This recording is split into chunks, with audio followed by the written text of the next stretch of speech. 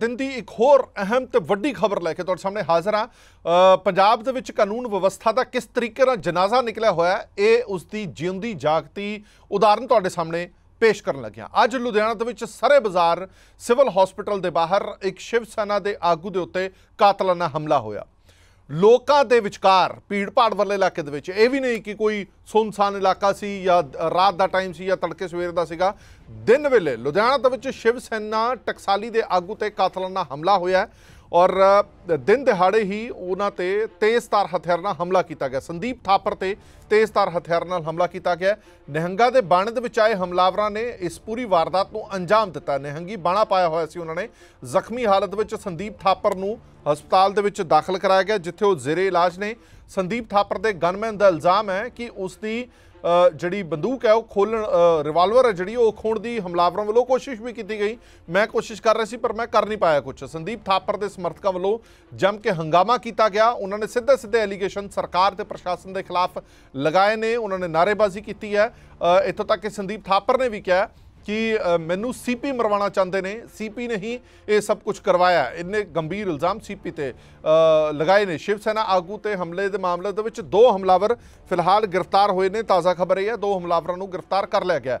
ਕਿਸ ਤਰੀਕੇ ਦੇ ਨਾਲ ਇਸ ਪੂਰੀ ਵਾਰਦਾਤ ਨੂੰ ਅੰਜਾਮ ਦਿੱਤਾ ਗਿਆ ਤੁਹਾਨੂੰ ਸੀਸੀਟੀਵੀ ਦੀ ਫੁਟੇਜ ਦਿਖਾਣੇ ਆ ਜਿੱਥੋਂ ਤੁਹਾਨੂੰ ਅੰਦਾਜ਼ਾ ਹੋ ਜਾਏਗਾ ਕਿ ਕਾਨੂੰਨ ਵਿਵਸਥਾ ਦਾ ਜਨਾਜ਼ਾ ਕਿਸ ਤਰੀਕੇ ਨਾਲ ਨਿਕਲਿਆ ਹੋਇਆ। ਤਿੰਨ ਇਹ ਸ਼ਖਸ ਸੀਗੇ।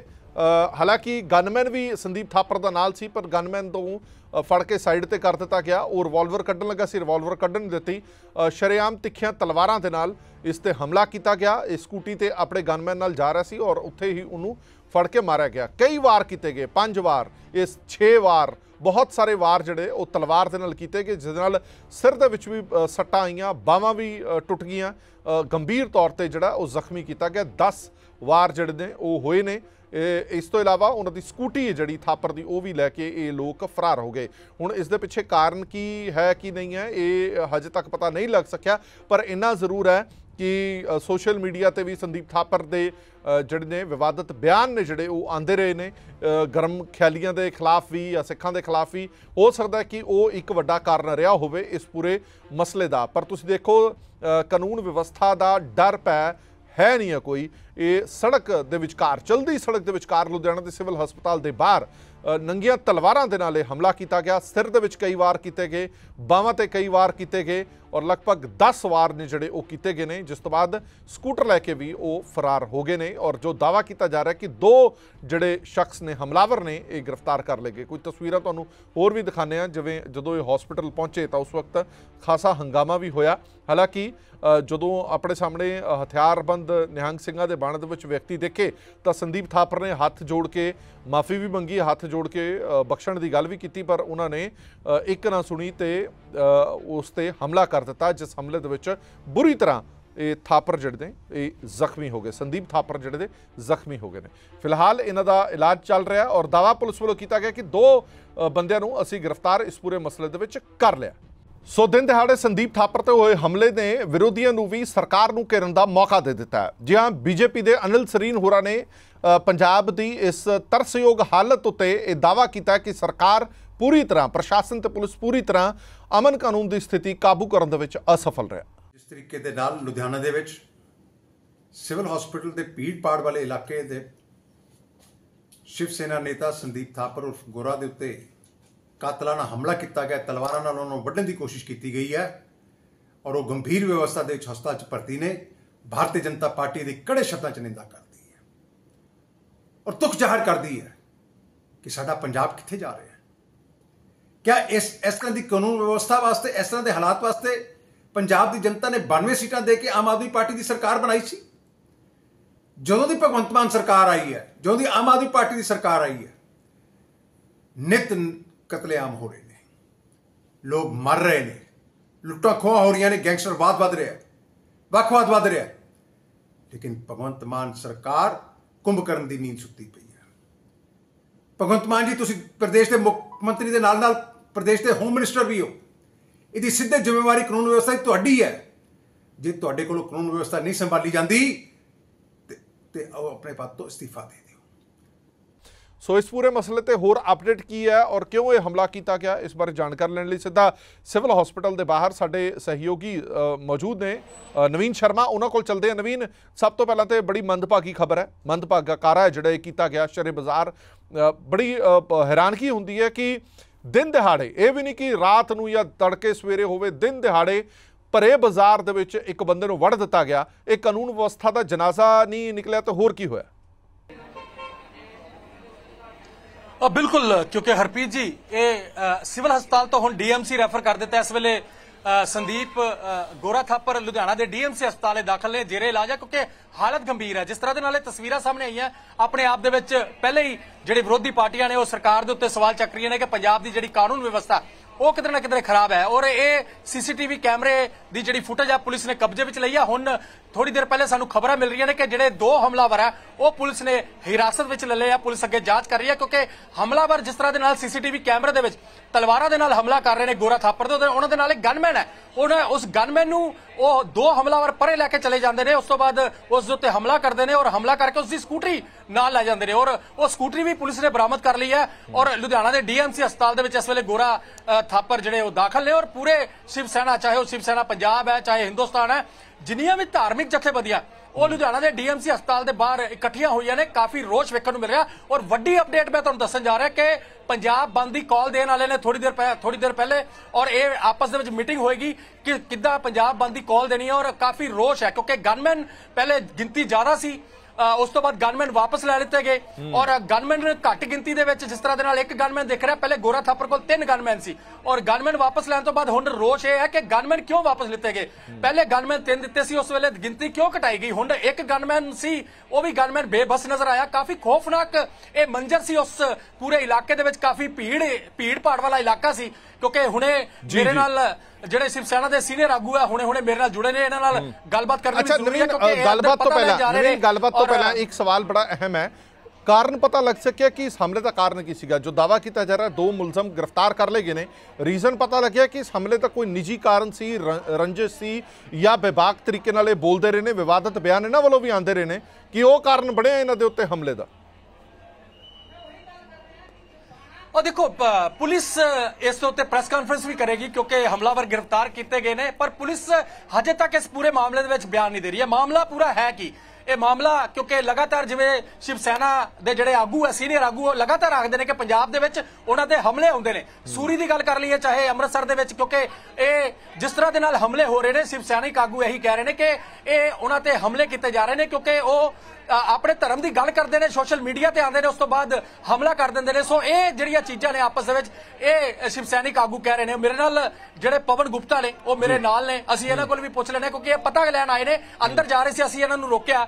ਕਿਵੇਂ ਦੇਖਦੇ ਹੋ ਜੀ ਪੂਰੀ ਤਸਵੀਰ ਨੂੰ? ਇਹ ਅੱਜ ਜਿਸ ਤਰ੍ਹਾਂ ਦੇ ਨਾਲ ਇਹ ਤਸਵੀਰਾਂ ਸਾਹਮਣੇ ਆਈਆਂ, ਖੌਫਨਾਕ ਤਸਵੀਰਾਂ ਨੇ। ਕੀ ਲੱਗਦਾ ਕੀ ਹੈ ਕਿ ਇਸ ਦੇ ਪਿੱਛੇ ਕੀ ਹੈ? ਦੇਖੋ, ਇੱਕ ਪਾਸੇ ਅੰਮ੍ਰਿਤਪਾਲ ਨੂੰ ਸਹੁੰ ਚੁਕਾਉਣਾ ਦਿੱਲੀ ਦੇ ਵਿੱਚ, ਦੂਸਰੇ ਪਾਸੇ ਲੁਧਿਆਣੇ ਵਰਗੇ, ਜਿੱਥੇ ਦਿਨ ਦਿਹਾੜੇ ਖੌਫਨਾਕ ਵਾਰਦਾਤ, ਖਾਲਿਸਤਾਨੀ ਆਤੰਕਵਾਦੀ ਨਿਹੰਗਾਂ ਦੇ ਭੇਸ-ਭੂਸਾ ਦੇ ਵਿੱਚ, ਜਿਸ ਤਰ੍ਹਾਂ ਸਰੇਆਮ ਆ ਕੇ ਬੜੇ ਆਸਾਨੀ ਦੇ ਨਾਲ ਉਹਦੇ ਸੁਰੱਖਿਆ ਗਾਰਡ ਨੂੰ ਤੁਸੀਂ ਦੋ ਨਿਹੰਗ ਕੇ, ਇੱਕ ਨਿਹੰਗ ਨੇ ਉਹਨੂੰ ਟੈਗਲ ਕੀਤਾ, ਸਾਈਡ ਤੇ ਲੈ ਕੇ ਗਿਆ ਔਰ ਬਾਕੀ ਨਿਹੰਗਾਂ ਨੇ ਸਰੇਆਮ ਉਹਦੇ ਉੱਤੇ ਹਮਲਾ ਕੀਤਾ। ਇਹ ਦੂਸਰੀ ਵਾਰਦਾਤ ਹੈ। ਸੂਰੀ ਦੀ ਹੱਤਿਆ ਦੇ ਸਮੇਂ 18 ਗਨਮੈਨ ਪੰਜਾਬ ਪੁਲਿਸ ਦੇ ਮੌਜੂਦ ਸੀਗੇ। ਉਹਨਾਂ ਚੋਂ ਇੱਕ ਵੀ ਗਨਮੈਨ ਨੇ ਗੋਲੀ ਨਹੀਂ ਚਲਾਈ। ਅੱਜ ਦੂਸਰੀ ਵਾਰ ਹੋਇਆ ਕਿ ਪੰਜਾਬ ਪੁਲਿਸ ਦੀ ਸੁਰੱਖਿਆ ਲੈ ਕੇ ਜਿਹੜੇ ਹਿੰਦੂ ਲੀਡਰ ਘੁੰਮ ਰਹੇ ਨੇ ਉਹਨਾਂ ਦੀ ਸੁਰੱਖਿਆ ਕਰਨ ਦੇ ਵਿੱਚ ਪੰਜਾਬ ਪੁਲਿਸ ਦਾ ਗਨਮੈਨ ਨਾਕਾਮਯਾਬ ਰਿਹਾ। ਉਹਨੇ ਗੋਲੀ ਚਲਾਉਣ ਦੀ ਕੋਸ਼ਿਸ਼ ਹੀ ਨਹੀਂ ਕੀਤੀ। ਬਾਅਦ ਚ ਜਿਹੜੀ ਫੁਟੇਜ ਆ ਰਹੀ ਹੈ, ਉਹ ਰਿਵਾਲਵਰ ਲੈ ਕੇ ਕੱਲਾ ਘੁੰਮ ਰਿਹਾ ਹੈ। ਵੀ ਇਹ ਨਾਟਕਬਾਜ਼ੀ ਕਿਉਂ?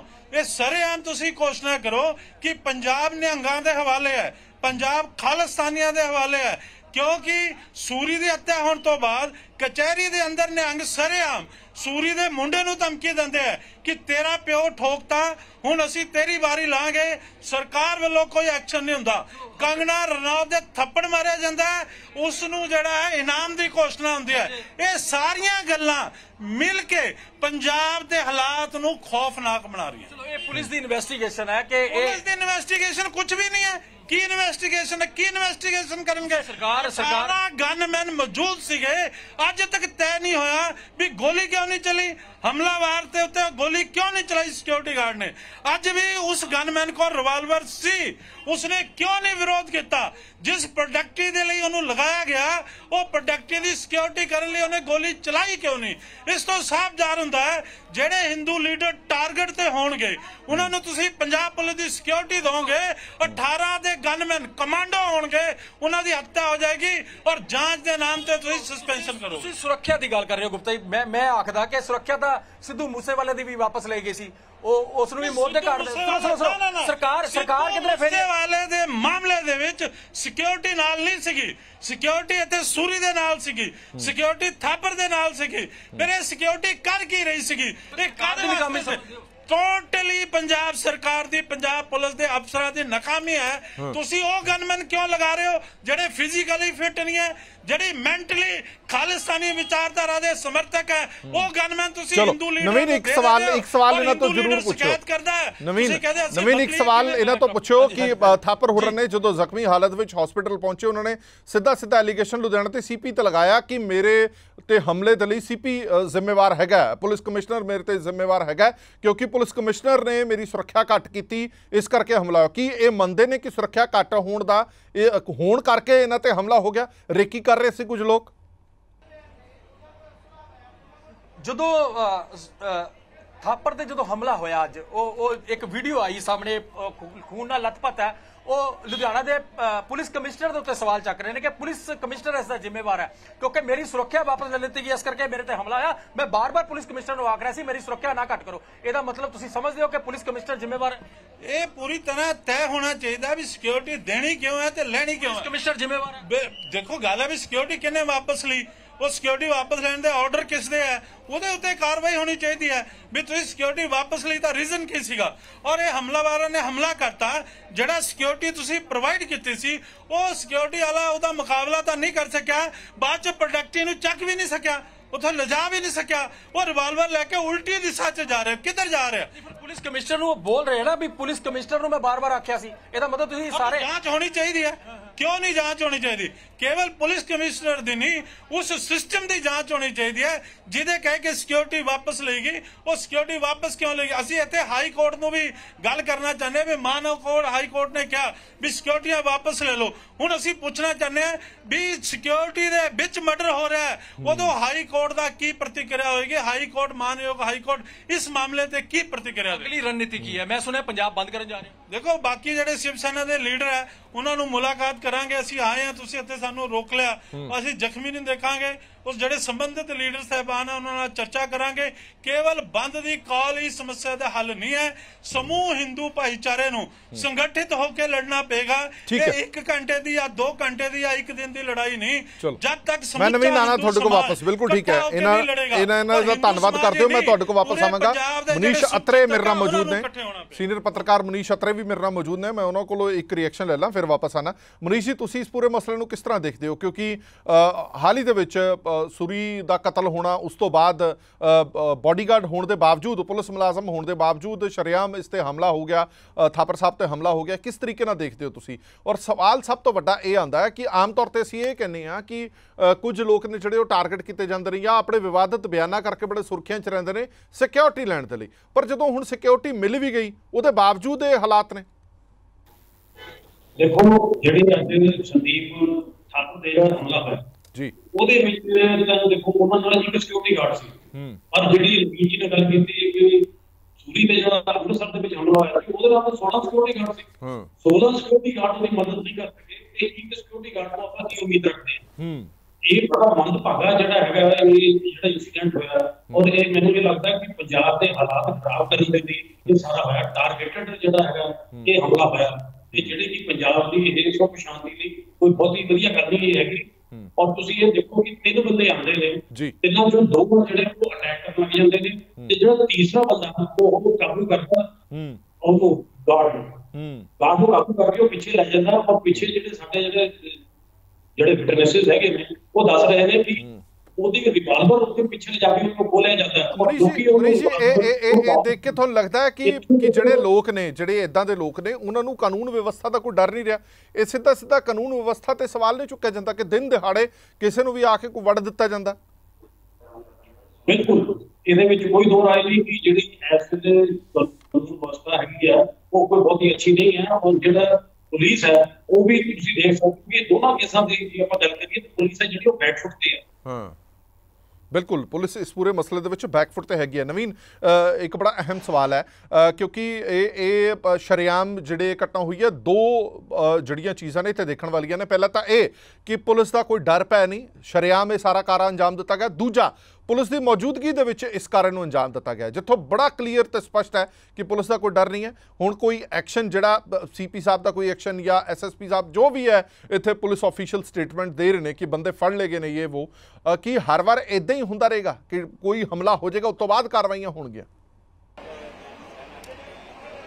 ਉਹ ਦੇਖੋ ਹਰਪ੍ਰੀਤ ਜੀ, ਜਿੱਥੇ ਇਹ ਹਮਲਾ ਹੋਇਆ, ਤੁਸੀਂ ਹੈਰਾਨ ਹੋਵੋਗੇ ਕਿ ਜਿਹੜੀ ਜਗ੍ਹਾ ਤੇ ਇਹ ਹਮਲਾ ਹੋਇਆ, ਉਸ ਤੋਂ 400 ਮੀਟਰ ਦੀ ਦੂਰੀ ਤੇ ਸਿਵਲ ਹਸਪਤਾਲ ਦੀ ਚੌਂਕੀ ਹੈ ਜਿੱਥੇ 24 ਘੰਟੇ ਦੇ ਲਈ ਮੁਲਾਜ਼ਮ ਤੈਨਾਤ ਰਹਿੰਦੇ ਨੇ। ਔਰ ਸਭ ਤੋਂ ਭੀੜ ਭਾੜ ਵਾਲਾ ਇਲਾਕਾ। ਪੁਰਾਣਾ ਸ਼ਹਿਰ ਹੈ ਔਰ ਕਾਫੀ ਤੁਸੀਂ ਸੀਸੀਟੀਵੀ ਕੈਮਰੇ ਦੇਖ ਰਹੇ ਹੋ ਕਿ ਕਾਫੀ ਟ੍ਰੈਫਿਕ ਹੈ ਉੱਥੇ। ਔਰ ਟ੍ਰੈਫਿਕ ਦੇ ਵਿੱਚ ਸ਼ਰੇਆਮ ਦਿਨ ਦਿਹਾੜੇ ਤਲਵਾਰਾਂ ਦੇ ਨਾਲ ਹਮਲਾ ਕੀਤਾ ਗਿਆ। ਔਰ ਥੋੜੀ ਦੂਰ ਅਗਰ ਚੌਂਕੀ ਹੈ ਤਾਂ ਉਸ ਤੋਂ ਥੋੜੀ ਦੂਰ ਥਾਣਾ ਵੀ ਹੈ। ਔਰ ਕੋਈ ਫਾਸਲਾ ਜ਼ਿਆਦਾ ਨਹੀਂ ਹੈ। ਚੋਵੇ ਇੱਥੇ ਨਾਕੇ ਲੱਗੇ ਰਹਿੰਦੇ ਨੇ ਪਰ ਅੱਜ ਦਿਨ ਦਿਹਾੜੇ ਨਾਕਾ ਉੱਥੇ ਪੁਲਿਸ ਦਾ ਨਹੀਂ ਲੱਗਿਆ ਸੀ। ਔਰ ਇਹ ਪੂਰਾ ਦਾ ਪੂਰਾ ਜਿਹੜਾ ਇਲਾਕਾ ਹੈ ਸ਼ਹਿਰੀ ਇਲਾਕਾ ਕਾਫੀ ਭੀੜ ਭਾੜ ਵਾਲਾ ਇਲਾਕਾ ਔਰ ਭੀੜ ਭਾੜ ਵਾਲੇ ਇਲਾਕੇ ਦੇ ਵਿੱਚ ਇਸ ਤਰ੍ਹਾਂ ਦੇ ਨਾਲ ਸੀਸੀਟੀਵੀ ਕੈਮਰੇ ਦੇ ਵਿੱਚ ਜਿਸ ਤਰ੍ਹਾਂ ਦੇ ਨਾਲ ਸਿਵਲ ਹਸਪਤਾਲ ਤੋਂ ਜਿਹੜਾ ਥਾਪਰ ਨੇ ਉਹ ਨਿਕਲ ਰਹੇ ਨੇ ਆਪਣੀ ਸਕੂਟਰੀ ਦੇ ਪਿੱਛੇ ਗਨਮੈਨ ਬਿਠਾ ਕੇ ਉਹਨਾਂ ਦੇ ਪਿੱਛੇ ਜਿਹੜੇ ਹਮਲਾਵਰ ਹੈ ਉਹ ਹੌਲੀ ਹੌਲੀ ਆਉਂਦੇ ਨੇ ਫਿਰ ਘੇਰਾ ਪਾਉਂਦੇ ਨੇ ਘੇਰਾ ਪਾਉਣ ਤੋਂ ਬਾਅਦ ਥੋੜੀ ਜੀ ਬਹਿਸ ਹੁੰਦੀ ਹੈ ਬਹਿਸ ਕਰਨ ਤੋਂ ਬਾਅਦ ਉਹ ਥਾਪਰ ਹੱਥ ਜੋੜ ਰਿਹਾ ਔਰ ਉਸ ਤੋਂ ਬਾਅਦ ਉਸ ਦੇ ਉੱਤੇ ਹਮਲਾ ਕੀਤਾ ਜਾਂਦਾ ਔਰ ਇਹ ਪੂਰੀ ਤਸਵੀਰ ਜਿਹੜੀ ਸਾਹਮਣੇ ਆਈ ਹੈ ਕਾਫੀ ਉੱਥੇ ਜਿਹੜੀਆਂ ਤਸਵੀਰਾਂ ਨੇ ਕਾਫੀ ਖੌਫਨਾਕ ਸੀ ਕਿਉਂਕਿ ਜਿਹੜੇ ਲੋਕ ਸੀ। ਉਹ ਆਪਣੀਆਂ ਗੱਡੀਆਂ ਬੈਕ ਕਰਦੇ ਨਜ਼ਰ ਆਏ ਆਪਣੀਆਂ ਸਕੂਟਰੀਆਂ ਬੈਕ ਭਜਾਉਂਦੇ ਨਜ਼ਰ ਆ ਰਹੇ ਔਰ ਕਾਫੀ ਖੌਫਨਾਕ ਮੰਜ਼ਰ ਸੀ। ਸਵਾਲ ਇਹੀ ਹੈ ਕਿ ਪੁਲਿਸ ਦੀ ਜਿਹੜੀ ਸੁਰੱਖਿਆ ਉਹ। ਕਿੱਥੇ ਹੈ? ਸਵਾਲ ਇਹੀ ਕਰਦੇ ਨੇ ਸ਼ਿਵ ਸੈਨਾ ਦੇ ਆਗੂ। ਔਰ ਸਵਾਲ ਇਹੀ ਹੈ ਕਿ ਉਸ ਵੇਲੇ ਪੁਲਿਸ ਦੀ ਸੁਰੱਖਿਆ ਕਿੱਥੇ ਸੀ? ਪੀਸੀਆਰ ਦੱਸੇ ਕਿੱਥੇ ਸੀ? ਜੇ ਉੱਥੇ ਪੁਲਿਸ ਦੀ ਸੁਰੱਖਿਆ ਹੁੰਦੀ ਸ਼ਾਇਦ ਜਿਹੜੇ ਹਮਲਾਵਰ ਹੈ ਇਹਨਾਂ ਦੀ ਇੰਨੀ ਹਿੰਮਤ ਨਾ ਹੁੰਦੀ ਕਿ ਇਸ ਤਰ੍ਹਾਂ ਦੇ ਨਾਲ ਕਿਸੇ ਦੇ ਹਮਲਾ ਕਰਦੇ ਕਿਉਂਕਿ ਤਲਵਾਰਾਂ ਦੇ ਨਾਲ ਨੰਗੀਆਂ ਤਲਵਾਰਾਂ ਦੇ ਨਾਲ ਜਿਸ ਤਰ੍ਹਾਂ ਦੇ ਨਾਲ ਹਮਲਾ ਕੀਤਾ ਗਿਆ ਗੰਭੀਰ ਹਾਲਤ ਦੇ ਵਿੱਚ ਲੁਧਿਆਣਾ ਦੇ ਡੀਐਮਸੀ ਹਸਪਤਾਲ ਦੇ ਵਿੱਚ ਥਾਪਰ ਨੂੰ ਦਾਖਲ ਕੀਤਾ ਹੋਇਆ ਔਰ ਥਾਪਰ ਦਾ ਜਿਹੜਾ ਇਲਾਜ ਚੱਲ ਰਿਹਾ ਔਰ ਜਿੰਨੇ ਵੀ ਸ਼ਿਵ ਸੈਨਿਕ ਹੈ ਉਹ ਇੱਥੇ ਰੋਸ਼ ਵਿੱਚ ਨੇ ਔਰ ਇਹਨਾਂ ਨੇ ਆਖਿਆ ਕਿ ਮੀਟਿੰਗ ਤੋਂ ਬਾਅਦ ਇੱਕ ਡਿਸਾਈਡ ਕੀਤਾ ਜਾਏਗਾ ਲੁਧਿਆਣਾ ਬੰਦ ਕਰਨਾ ਕਿ ਪੂਰੇ ਪੰਜਾਬ ਬੰਦ ਦੀ ਕਾਲ ਦੇਣੀ ਹੈ। ਅੱਗੇ ਆਉਣ। ਵਾਲੇ ਸਮੇਂ ਦੇ ਵਿੱਚ ਰਣਨੀਤੀ ਕੀ ਹੈ ਬਹੁਤ ਬਹੁਤ ਧੰਨਵਾਦ ਮਨੀਸ਼ ਜੀ ਤੁਹਾਡਾ ਵੀ ਨਵੀਨ ਤੁਹਾਡਾ ਵੀ ਬਹੁਤ ਬਹੁਤ ਧੰਨਵਾਦ। ਬੜੀ ਅਹਿਮ ਇੱਕ ਖਬਰ ਸੀਗੀ ਜਿਸ ਦੇ ਵਿੱਚ ਪੂਰੇ ਪੰਜਾਬ ਦੇ ਲਈ ਫਿਕਰ ਵਾਲੀ ਗੱਲ ਹੈ ਕਿ ਦਿਨ ਦਿਹਾੜੇ ਕੁਝ ਕੀਤਾ ਗਿਆ ਔਰ ਇਸ ਨੂੰ ਐਂਗਲ ਹੀ ਦਿੱਤਾ ਜਾ ਰਿਹਾ ਕਮਿਊਨਲ ਐਂਗਲ ਦੇਣ ਦੀ ਕੋਸ਼ਿਸ਼ ਹੈ ਸਿੱਖ ਵਰਸਸ ਹਿੰਦੂ ਬਣਾਉਣ ਦੀ ਕੋਸ਼ਿਸ਼ ਹੈ ਜਦਕਿ ਅਜਿਹਾ ਨਹੀਂ ਹੈ ਅਜਿਹਾ ਹੋਣਾ ਵੀ ਨਹੀਂ ਚਾਹੀਦਾ ਇਹ ਪੁਲਿਸ ਦੀ ਜ਼ਿੰਮੇਵਾਰੀ ਹੈ। ਦੇਸ਼ ਦੁਨੀਆ ਦੇ ਬਾਕੀ ਖਬਰਾਂ ਲਈ ਬਣੇ ਰਹੋ ਪੀਡੀਸੀ ਨਿਊਜ਼ ਨਾਲ ਧੰਨਵਾਦ।